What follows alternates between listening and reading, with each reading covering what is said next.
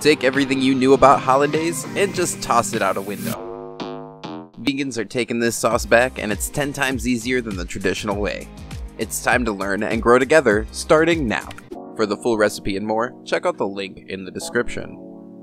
Trotting along my secret subliminal cooking culinary curriculum, this recipe touches base on emulsification. It's the reason this recipe works, but I'll get into the nerdy stuff a little bit later. Let's go for it. Grab a container suitable for an immersion blender and add in 1 cup of unsweetened soy milk as well as 1 tablespoon of lemon juice. Give this a good stir and you've basically created a buttermilk. This is good to know in case you need it for a recipe and can be done with almost any non-dairy milk. Next, add in 1 4th teaspoon each of the following. Turmeric, minced dried onion, and prepared yellow mustard. We'll give that a quick mix with our immersion blender, before slowly adding in 4 to 6 tablespoons of either sunflower, corn, or rapeseed oil. Now to the fun stuff. Well, at least I'm having fun. I hope you are too.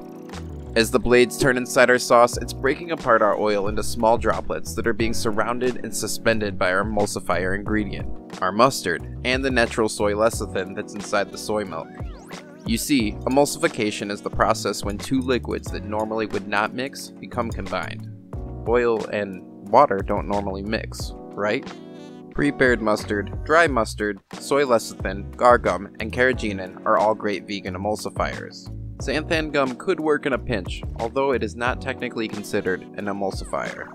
This process creates a thicker hollandaise sauce.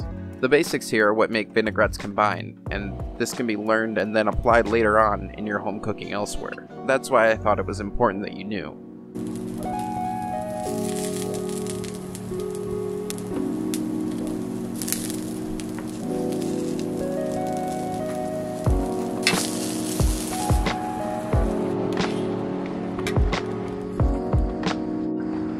Season with black pepper, salt, and cayenne pepper to taste. Refrigerate until ready, serve with blanched and grilled asparagus or over your own custom vegan benedict. Making meals a little more special, our vegan hollandaise is ready. Tell me, which recipe should we veganize next in our quest? If you found this video interesting, make sure to give it a thumbs up so that it can grow and help more people just like you. If you're new to the Veggie Nerd, my name is Eric. I'm a vegan chef creating weekly food content with an occasional nerdy twist. Stick around a while by subscribing, and let's empower self-care through food together. If you don't want the cooking adventures to end, check out how I blanched my vegetables before I grilled them. Click the video on the screen now to check it out.